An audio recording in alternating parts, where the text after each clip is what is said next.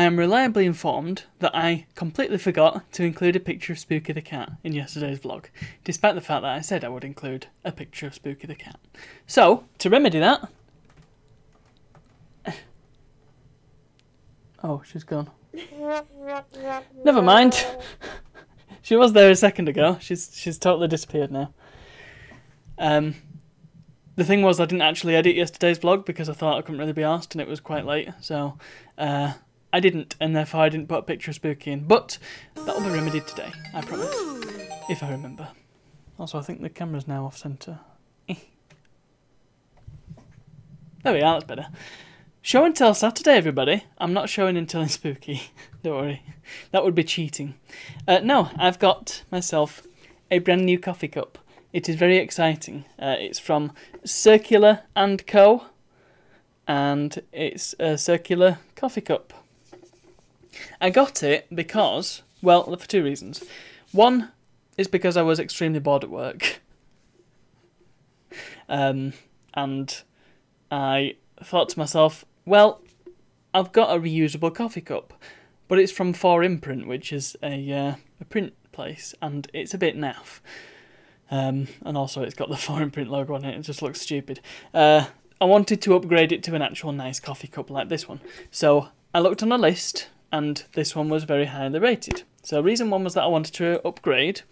Reason two, why I got this one in particular, is because well, it's made of beach waste, and I like this this sort of thing that makes use of stuff that would otherwise not be used. So the idea is it's made of completely recycled materials, and you when you've finished with it, when it's when it's uh, done, it's it's fulfilled its purpose and it's not unusable anymore. You can send it back, and they'll recycle it into a new coffee cup. It's pretty cool. Um, but the really cool thing about it is, you probably heard that. Uh, well, it's got this very exciting lid. very exciting. It's a very nice colour. Uh, it's a bit more green to the naked eye. Um, on camera, it just appears blue, uh, but well, it's quite green.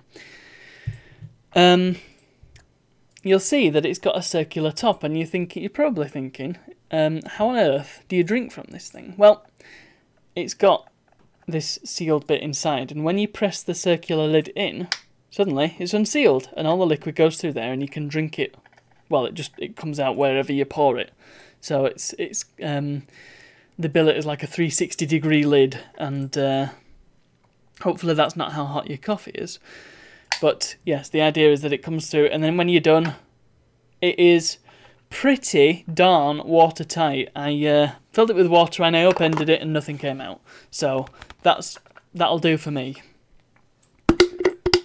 And that's my coffee cup. Isn't it cool? Uh, and, well, like I said, it's it's recycled beach waste. So, it's got this unique marble pattern on it, which I really like. It's a bit more subtle than I was expecting. The picture on the website had this um, quite stark black uh, cup and it had blue marbling on it. This one's more of a teal colour uh, and it's got sort of black and blue marbling on it here and there, and little flecks as well. Um, pretty good. I like it a lot. It's my own personal unique coffee cup. I'm hoping nobody steals it. I don't think anybody will, but I'm hoping nobody steals it. So that's Show and Tell Saturday. Um, that's all. Thank you very much for watching, and I'll see you all tomorrow.